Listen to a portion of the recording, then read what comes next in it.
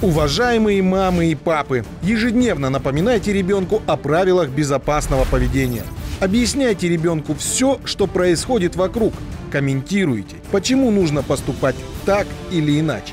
Важно помнить, что запрет скорее даст стимул ребенку попробовать в ваше отсутствие то, что нельзя. Поэтому говорить о безопасности нужно в доверительной манере. Ни в коем случае не угрожать и не запугивать. Объясняйте ребенку, что спички не игрушка, и ими должны пользоваться только взрослые с соблюдением мер безопасности. Приучайте маленьких детей отдавать вам найденные ими спички и зажигалки, хвалите их за проявленное чувство ответственности. Пресекайте любые игры детей с огнем. Храните спички, зажигалки в недоступных для детей местах. Не разрешайте им самостоятельно топить печи, пользоваться газовыми и электрическими приборами. Обучайте детей набирать на телефоне номера служб ЧС 101 и 112. Не оставляйте детей одних без присмотра.